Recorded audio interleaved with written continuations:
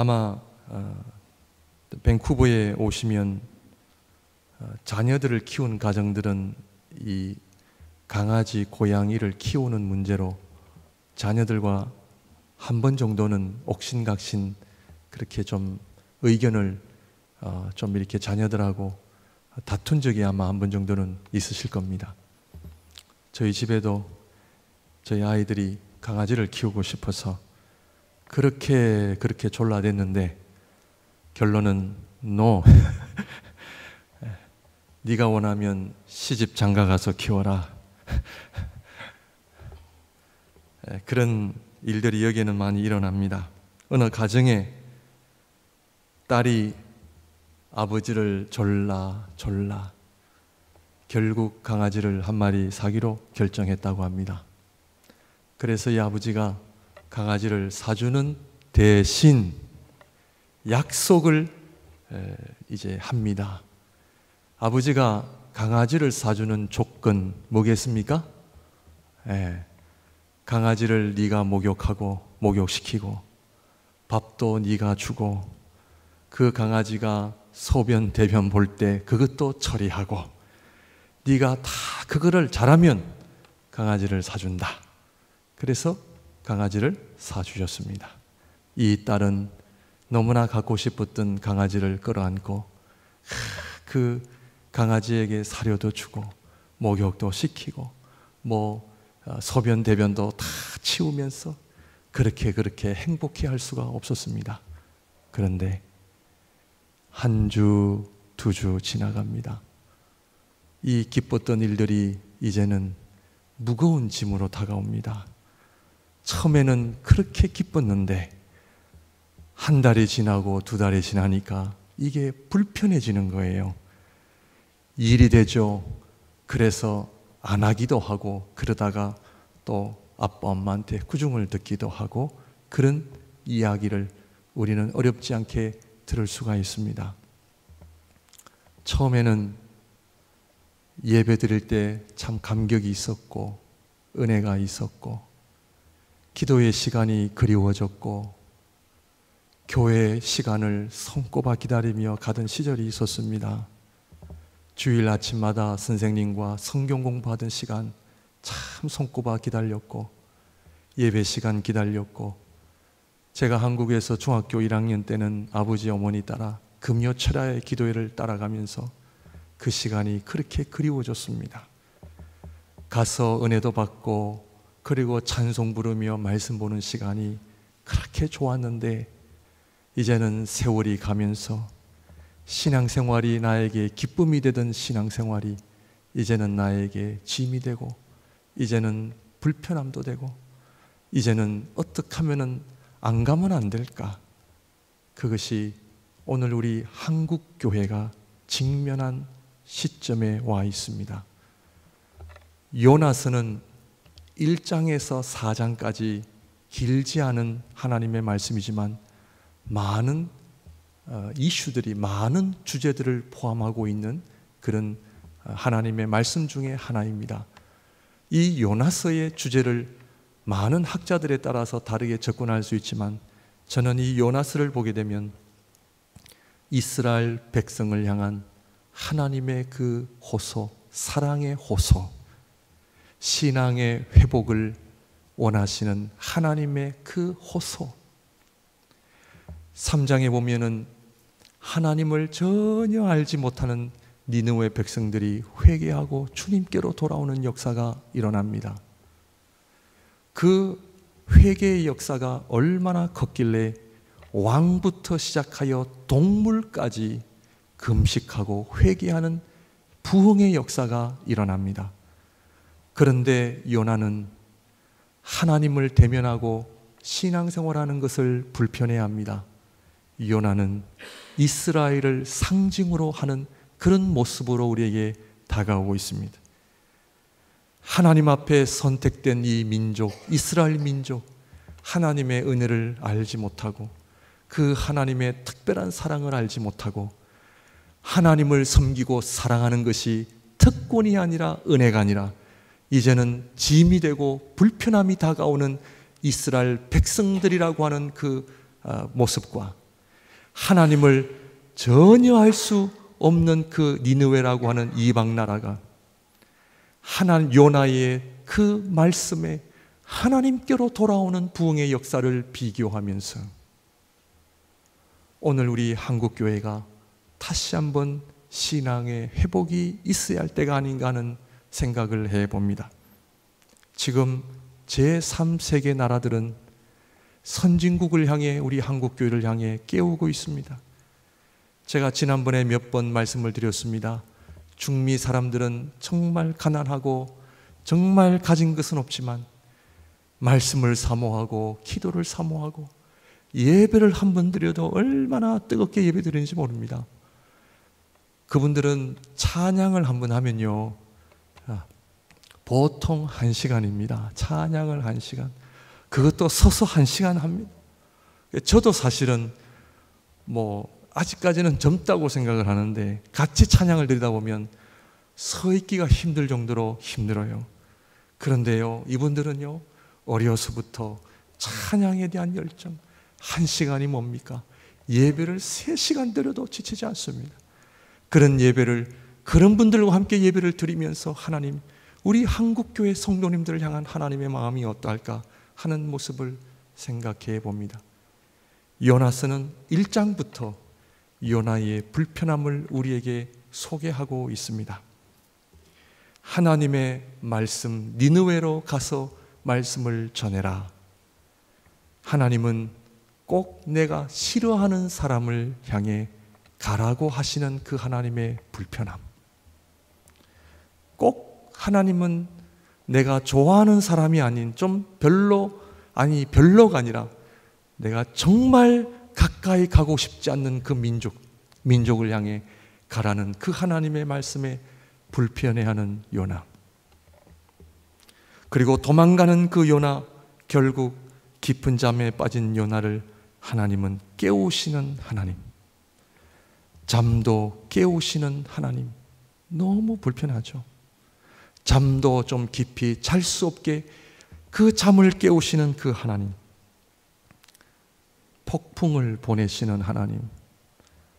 내 인생에 바람 잘 날이 없는 잔잔한 폭풍부터 시작하여 엄청난 폭풍까지 하나님은 나를 엄청나게 불편하게 하시는 하나님. 하나님, 저를 좀 가만히 놔두세요. 한국 교회가 어떤 교회가 전도를 열심히 하는 교회가 있다고 합니다. 얼마나 전도를 열심히 했길래 그 아파트 주민들이 아예 대문에다가 우리 집을 귀찮게 해주지 마세요라고 아예 써붙여놨대요. 전도하지 말라는 거죠. 우리는 교회 안 갑니다. 귀찮게 하지 마세요. 불편하게 하시는 하나님. 심지어 그 폭풍을 잠잠케 하기 위해 바다를 빠뜨리게 하시는 그 하나님. 막다른 골목까지 인도하게 하시는 그 하나님. 내 두 눈의 눈물을 확 빼시는 하나님. 두 손, 두 발 다 들게 하시는 하나님. 너무 하나님 불편해. 그것도 물고기 뱃속에서 3일 동안 있어야 되는 불편함. 우리 사랑하는 성도님들, 제가 이 요나서의 주석을 보다가 얼마나 많은 학자들이 요나스를 믿지 못한다고 결론을 내린지 모릅니다. 물고기 말도 안 돼 해가지고 그거를 하나의 전설, 신화로 여기는 학자들이 참 많이 있었습니다. 제가 그거를 읽으면서 하나님께서 저에게 깨달음을 주시는 것이 예수님께서 요나의 이야기를 통하여 이 물고기 사건을 통하여 얼마나 많은 사람들이 고민에 빠졌을까 염려하셔서 예수님께서는 마태복음 12장에 예수님께서 직접 요나의 사건을 말씀하십니다. 믿으십니까? 요나가 3일을 밤낮으로 물고기 뱃속에 있었던 것과 같이 인자도 땅 속에서 3일 동안 있으리라. 예수님께서요, 확고하게 말씀해 주셨어요. 물고기 뱃속이 환할까요? 깜깜할까요? 네, 이런 질문 드리면 우리 젊은 아이들은 목사님 그 혹시나 그 flashlight를 가지고 있을지 모르기 때문에 밝았을지도 모릅니다. 3일 동안 환했을까요? 깜깜했을까요? 깜깜했죠. 편했을까요? 불편했을까요? 여러분, 아, 이 저는 이 성전에 들어올 때마다 얼마나 좋은지 몰라요. 참 편안해요. 참 편안해요. 근데 중미만 여러분들 한번 가시더라도 성교제 가면 불편합니다. 참 의자 모든 것들이 불편해. 물고기 뱃속에서 3일 동안 있게 하시는 하나님의 그 나를 불편하게 하시는 그 손길. 요나만 불편했나요? 요나로 인하여 다른 사람들까지도 불편함을 주었던 요나. 배 안에 있었던 사람들. 오늘 이 물고기가요, 불편해서 요나를 토해내는 사건이 일어납니다. 물고기마저도 불편함을 주었던 요나. 사랑하는 성도 여러분, 교회 생활하시면서 불편하신 적은 없으십니까? 오늘 교회 생활이 신앙 생활이 은혜가 아니라 적지 않게 불편함으로 다가오고 있습니다. 목사님, 우리는 일주일 동안 힘들게 힘들게 일하면서 사는데 오랜만에 주일 한번 예배 드리면 좀 우리를 위로해 주시고 우리에게 좋은 얘기 해 주시면 좋은데 강단에서 꾸중하시고 막 내리치시고 회개하라, 잘 살아라, 뭐 이런 메시지만 주시니 너무나 불편, 불편해 하시는 현대 그리스도인들이 많습니다. 교회는 이 강단을 통하여 하나님의 말씀을 제대로 안 들으면 하늘에서 불이 내릴 만큼 겁을 주는 교회. 그래서 지금도 적지 않는 신앙인들이 주일 오후에 저녁에 어디를 놀러 가시거나 골프를 치러 가시더라도 주일 예배를 드리고 가셔야 마음이 편하다고 표현하신 분들이 얼마나 많은지 몰라요. 주일 예배를 빠지고 놀러를 가거나 운동을 하면 뭔가 나에게는 불안한 일이 일어날 것 같은 그런 불편함. 교회는 그런 불편함을 주는 곳이. 지난주 한 주간 동안 특별 새벽 기도를 통해서 우리 목사님은 잠도 제대로 못 자게 하는 우리 목사님. 새벽마다 여러분들 편히 잘 주무셨습니까? 아니면은 새벽 5시, 아침 6시가 되면 야, 새벽 기도를 가야 되는데 나는 여전히 잠을 자고 있구나. 우리 교회는 왜 특별 새벽 기도회가 꼭 있어야 되는 거야? 새벽 기도회만 나오라 합니까? 봉사하세요. 헌금하세요. 선교 헌금하세요. 얼마나 얼마나 적지 않는 불편함을 여러분들 가지고 계십니까? 저랑 가깝게 지내는 목사님 한 분이 밴쿠버에서 어머님이 한국에서 돌아가셔서 장례를 치르고 오셨는데 그 어머님 돌아가셔서 어머님의 그 유품을 정리하면서 이 한 가지 발견한 것이 그 시골 교회 그 시골 교회도 그 목사님의 어머님이 헌금을 드리셨는데 헌금 종류가 열 가지 들어요. 열 가지. 주일 헌금, 11조, 감사 헌금, 월정 헌금, 신방 헌금 해 가지고 열 가지인데 그 어머니가 도장을 하나씩 하나씩 찍어 가면서 예, 그 간증을 하시면서 목사님 우리 이민교회 헌금 열 가지 종류면 불가능합니다. 불가능합니다.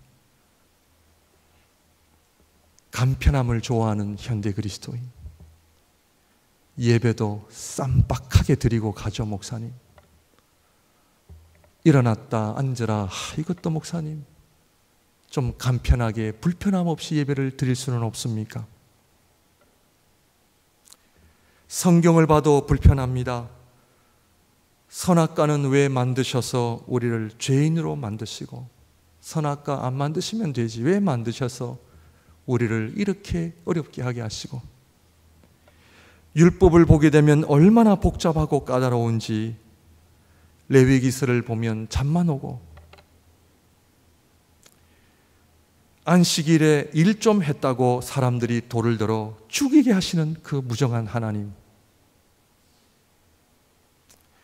우사라고 하는 사람은 하나님의 법계가 수레에 끌려가다가 떨어질 것 같으니까 하나님의 법계에 손을 대었다 하여 우사는 그 자리에 즉사하게 됩니다. 정말 하나님 너무하십니다. 성경을 볼 때마다 내가 이런 하나님을 계속 믿어야 되는가? 사도행전에 보면 아나니아 삽비라 사건을 통해서 헌금 들이다가 하나님 앞에 심판을 당한 부부의 이야기가 나옵니다. 남을 죽인 것도 아니고 성적 범죄를 한 것도 아니고 하나님 앞에 집을 팔아 다 드리려고 했다가 조금 얼마를 감추었는데 성령님께 거짓말 한 번 해서 부부가 그 자리에 죽임을 당합니다. 불편하지 않으세요?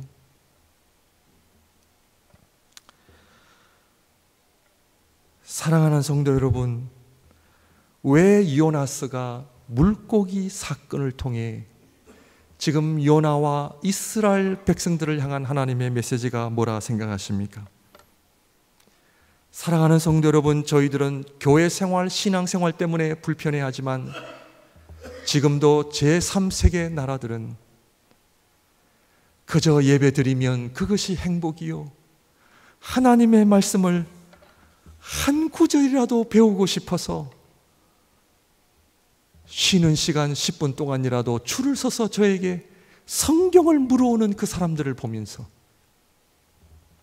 그들의 눈망울에 주님을 사랑하는 눈물이 늘 고여 있고 내가 죽더라도 믿음으로 살다가 죽는 것보다 더 귀한 삶이 없다라고 하는 그들의 아름다운 신앙생활을 보면서 오늘 하나님께서는 요나를 향하여 너무나 불편해하는 요나를 향하여 니느웨 백성들이 한순간에 회개하고 주님께로 돌아오는 모습을 통하여 하나님께서는 하나님의 은혜와 사랑을 더 이상 은혜로 여기지 않고 불편으로 여기는 하나님 이스라엘 백성들을 향한 하나님의 거룩한 메시지라고 저는 생각합니다.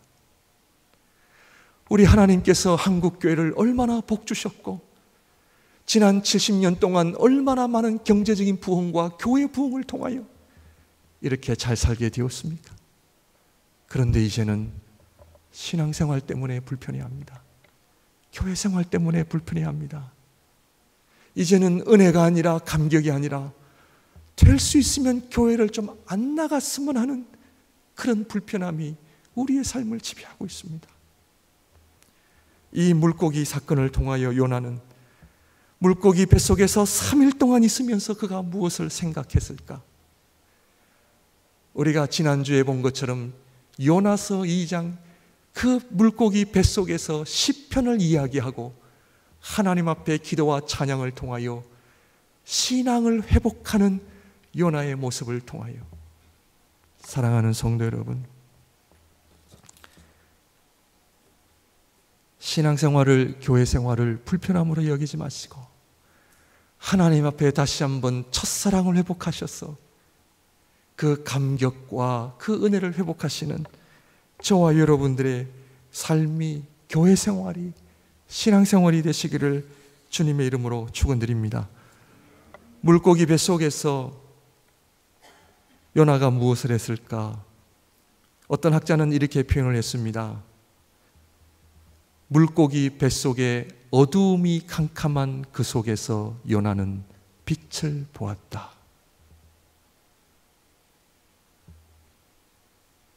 빛은 언제 볼 수 있느냐? 어둠이 있을 때 봅니다.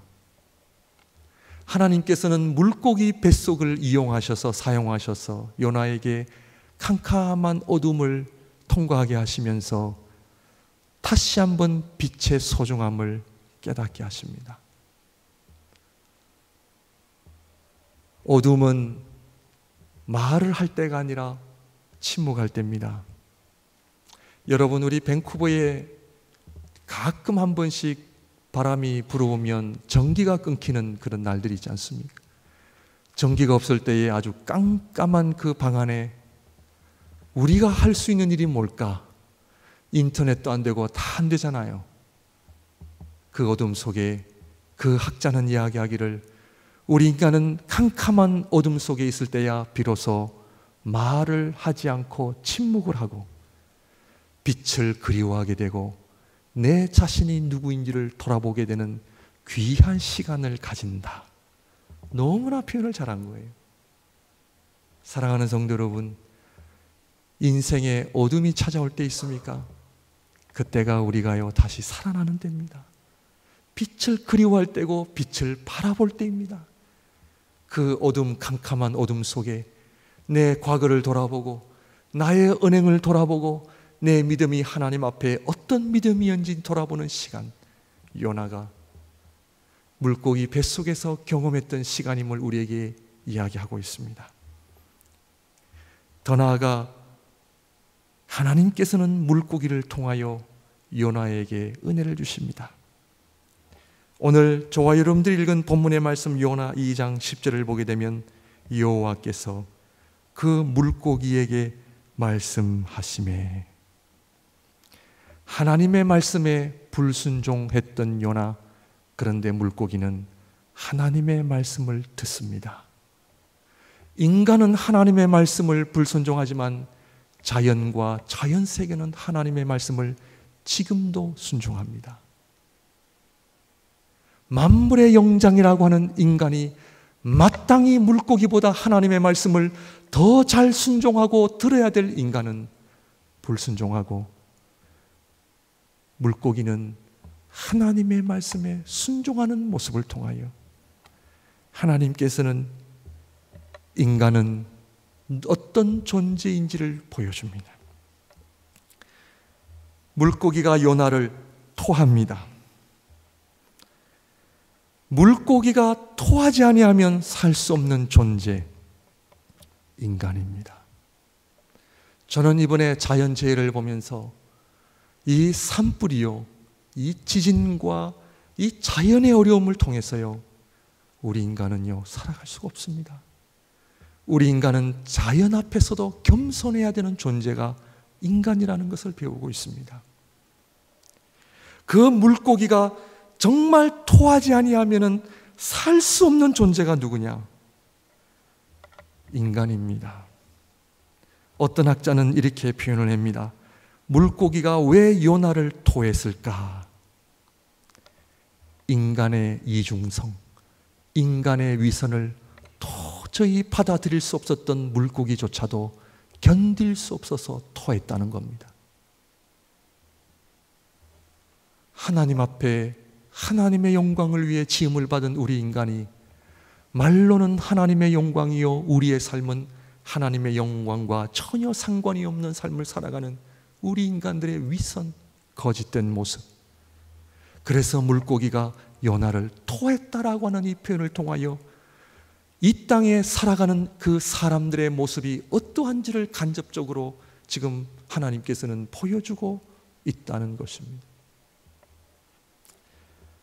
우리는 아무런 존재도 아닙니다. 하나님의 은혜조차도 하나님의 사랑조차도 불편해서는 안 되는 존재들입니다.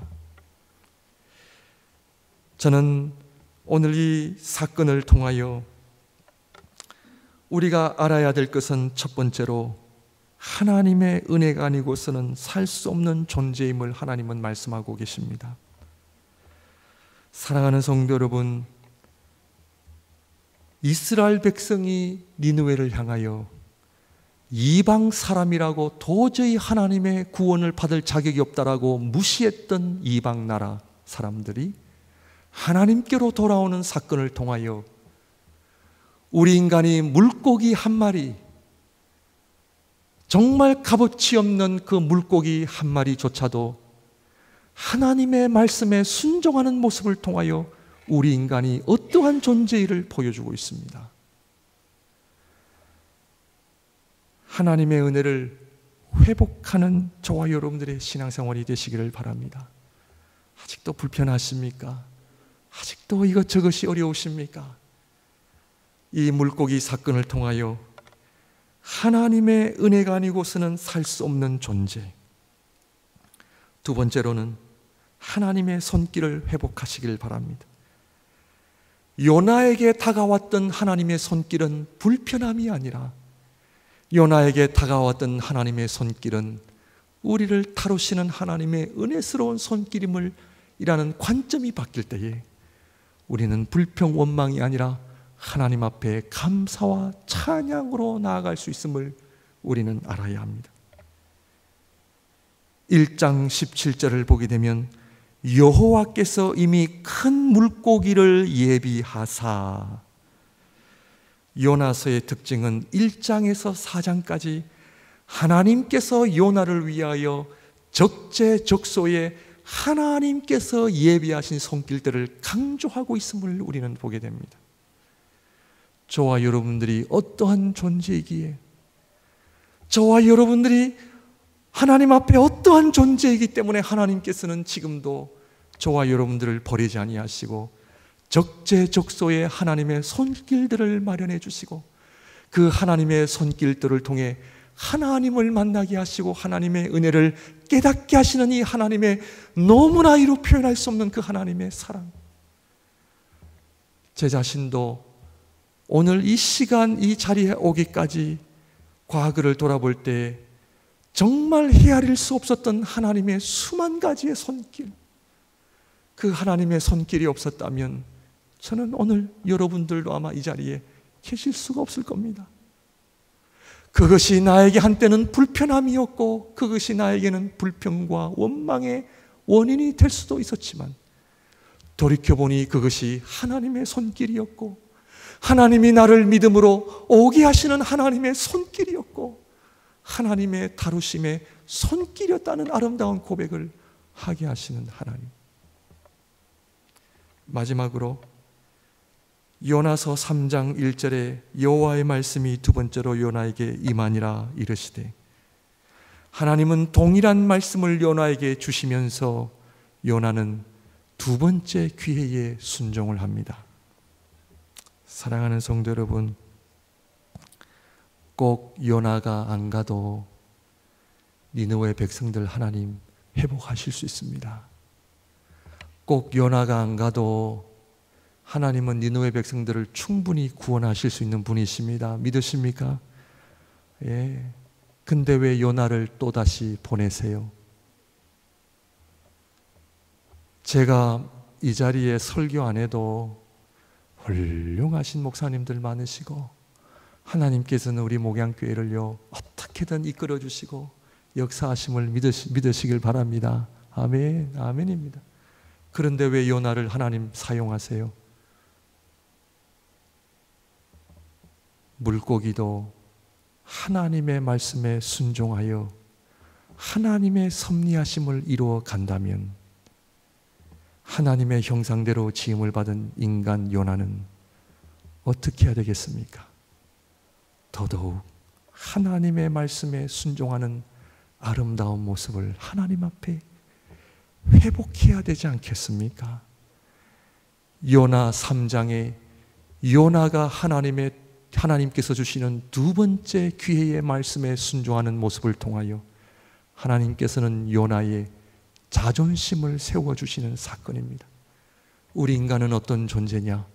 하나님을 만나고 하나님의 은혜를 경험하고 내 자신의 기쁨과 내 자신만을 위해 살아가는 인생이 아니라 하나님의 은혜를 나누어 주고 다른 사람들에게 가서 그 하나님의 은혜를 나누어 줄 수 있는 삶을 살게 하시는 이 하나님의 은혜.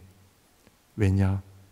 물고기도 하나님 앞에 그 귀한 쓰임을 받았다면 하나님의 형상대로 지음을 받은 우리 인간이야말로 더더욱 하나님의 영광을 드러내고 하나님의 은혜를 나누어 주는 그런 자리에까지 가야 되지 않겠느냐 하는 하나님의 열정적인 호소와 열정적인 회복하심의 손길이 요나서 3장의 요나의 아름다운 순종의 모습이 우리에게 다가오고 있습니다. 사랑하는 성도 여러분, 더 이상 하나님으로 인하여 불편함이 있다면 다시 한번 하나님의 은혜로 돌아가셔서 지금까지 우리 민족을, 우리 가정을, 우리 교회를 붙드셨던 하나님의 손길을 다시 한번 바라보시기를 바랍니다.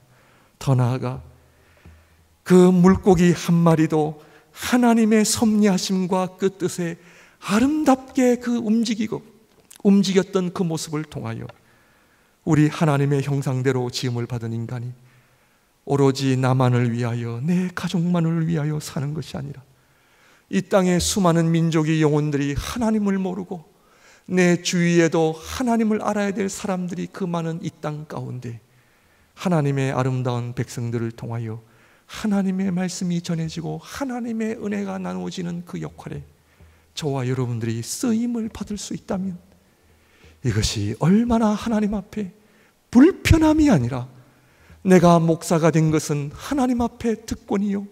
주님의 몸 된 교회를 내가 마음을 다하여 섬길 수 있다고 하는 것은 특권이요. 내가 하나님의 나라를 위하여 사랑하고 섬길 수 있다고 하는 것은 엄청난 복이 아닐 수가 없습니다.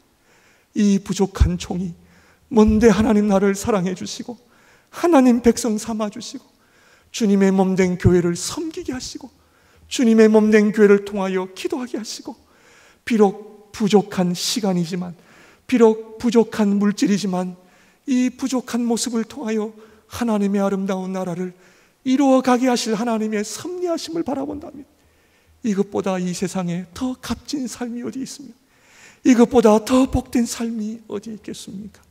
사랑하는 성도 여러분, 더 이상 하나님의 은혜를 손기를 불편함이 아니라 다시 한번 하나님 앞에 감사와 찬양과 아름다운 간정으로 바꾸시는 놀라운 일들이 일어나시기를 주님의 이름으로 축원드립니다. 기도하겠습니다.